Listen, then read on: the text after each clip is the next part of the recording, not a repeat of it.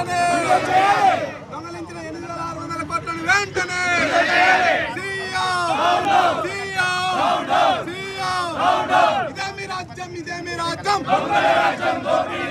ఇదే రాజ్యం ఇదే రాజ్యం? ఇదే నా ఈరోజు మా పంచాయతీరాజ్ ఛాంబర్ ఆధ్వర్యంలో ఈరోజు అన్ని జిల్లాలు ఉమ్మడి జిల్లాలు పదమూడు జిల్లాల్లో కూడా మేము రాష్ట్ర ప్రభుత్వం ఏదైతే సాధించిందో మాకు కేంద్ర ప్రభుత్వం నుంచి రావాల్సిన నిధులను ఎనిమిది వేల ఆరు వందల అరవై కోట్లు కేంద్రం ఇస్తే ఈ దొంగ ప్రభుత్వం దోపిడీ ప్రభుత్వం ఈ జగన్మోహన్ రెడ్డి ప్రభుత్వం ఎనిమిది వందల ఆరు వందల అరవై కోట్లు మా నిధులను దొంగిలించే ప్రభుత్వం ఏదైనా ఉందంటే అది జగన్మోహన్ రెడ్డి ప్రభుత్వం వైసీపీ ప్రభుత్వం. కాబట్టి ఇప్పటికైనా కూడా మా నిధులు మా విధులు మా హక్కులు కూడా మా సర్పంచులకు ఏమేమి రావాలో అవన్నీ ఇచ్చే వరకు కూడా మేము రాష్ట్ర ప్రభుత్వాన్ని ఎక్కడికైనా కూడా నిర్బంధిస్తాం. మా హక్కులను వచ్చేందుకు కూడా మేము సర్పంచులతో ఐక్యంగా ఆల్ మొత్తం అందరూ కూడా పార్టీలకు అతీతంగా ఉద్యమిస్తామని కూడా మేము ఈరోజు సర్పంచ్ ద్వారా తెలియజేస్తున్నాం.